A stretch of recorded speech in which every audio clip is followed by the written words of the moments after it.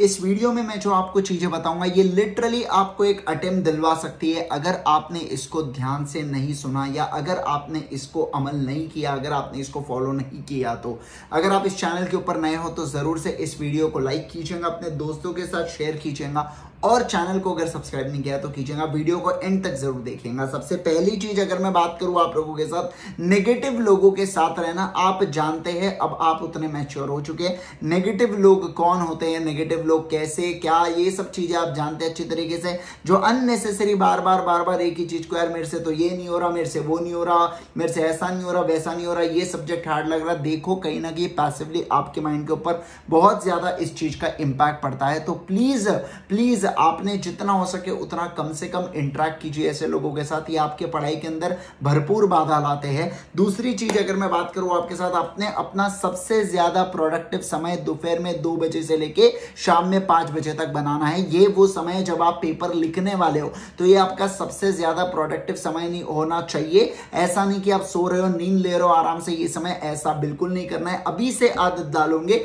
तो चीज़ें बात बन जाएँगी। तीसरी चीज़ की बात करूँ, पेन और कैलकुलेटर को अभी से डिसाइड करके रख लो कि आपने कौन सा एग्ज़ाम के अंदर लेके जाना है। ये एक बहुत सिंपल एक बहुत छोटी और बहुत ही सिली पॉइंट है, लेकिन बताना ज़रूरी है। लोग अभी आप तीन रुपए वाले पेन से प्रैक्टिस करते हो, बाद में दस रुपए का पेन लेके जाते हो, आपकी ग्रिप नहीं बनती, आपकी स्पीड नहीं आती पेपर के अंदर। जो भी पेपर के अंदर पेन का इस्तेमाल करना है, अभी से कीजिए ब्लैक पेन से पेपर लिखना होता है, ये आपको पता है, बाद में गलती से रेड पिंक ब्लू पेन से लिख दिया, ऐसा नहीं होना चाहिए। इस चीज़ का ध्यान रखिएगा पेपर विथ हेल्ड भी किया जा सकता है। इस बार हुआ है पेपर एक विथहेल्ड में रहा है। ठीक है, हो सकता है उसका कोई और भी कारण हो, लेकिन जितना प्राइमा फेस ये पता चला है, जितनी बात हुई है, उतना तो मतलब दूसरे इससे लिख दिया करके इसलिए। हो सकता है कोई दूसरा कारण हो, मैं अभी भी बता रहा हूँ।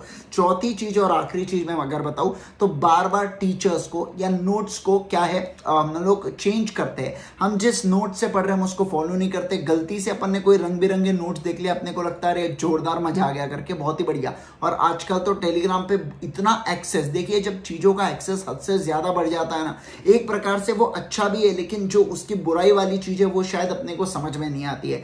तो यार, हम लोग क्या करते हैं कि अपने को नोट्स मिले, मारो प्रिंट बोले, पढ़ेंगे। इससे एकदम बढ़िया लग रहे हैं, रंग बिरंगे, लाल पीरे हरे करके रखा है, मज़ा आएगा पढ़ने में। तो समझिए आप बात को ध्यान दीजिए, मज़ा आएगा। तो ये मज़ा आपने पहले लेना था जब आप शुरुआत में पढ़ना चाहते थे।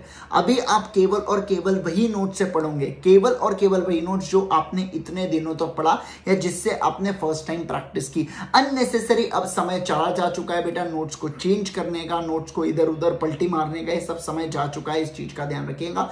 आपको जो पढ़ाई करना है, वो केवल और केवल अब उसी नोट्स में से, उसी चीज़ में से करना है, जिससे आप यूजुअली अभी तक पढ़ते आ रहे थे। एंड मोमेंट के ऊपर प्लीज़ मत चेंज कीजिएगा अपने नोट्स को। ये चार पॉइंट को बात बाँध के रख लीजिएगा। आप और एक और चीज़ हमेशा ये सोचिए कि मैं क्लियर करने वाला हूँ। अपने माइंड को आप नेगेटिव फीडिंग ही मत दीजिए। आप सोचते रहिए यस मैं क्लियर करूँगा यस मैं क्लियर करूँगा, खुद को पॉजिटिव अगर आप खुद को पॉजिटिव नहीं रखोगे तो कोई आके बचाने नहीं वाला है। तो ऐसी चीज़ के अंदर आपने खुद को पॉजिटिव रखना चाहिए राइट यार?